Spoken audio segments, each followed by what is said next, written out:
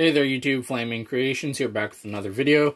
And today I have this custom part one for Jose.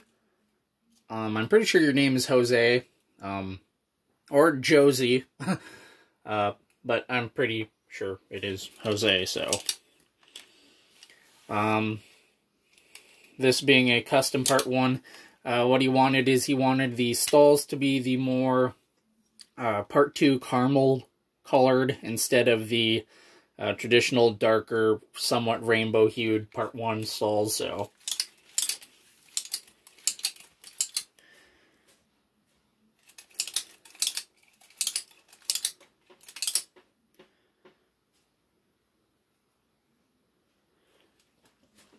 I tried out that new beveling technique that I talked about in the last video where I had a part one, I believe. And uh, it worked out better. I was able to get it just a tiny bit lower on the blades. Uh, still going to have to do some experimenting, but I think that's kind of the way to go. Because it's like, you know, you're grinding against a flat surface trying to get a bevel on there without scratching the entire surface up, so...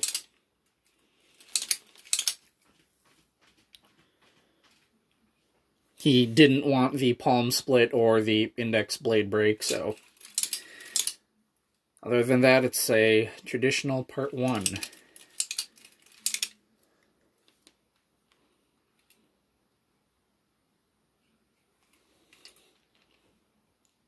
Tried to cover that M up on the leather. For some reason, Carolina has started, or they have been doing uh, stamping the leathers with an M for medium. Uh, I lucked out for the longest time but then it's just like within the past year or so, I started getting a uh, leathers that have the M marked on them, which sucks, but nothing really I can do about it.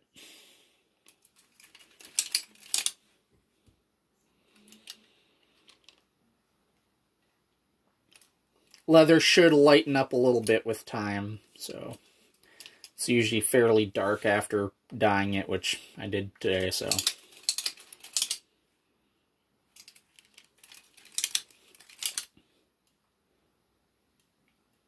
Uh, yeah, here's your glove, Jose. So I will be getting this packed up and shipped off tomorrow. So anyways, uh, thank you for watching. Please remember to like and subscribe, and I will see you guys all next time.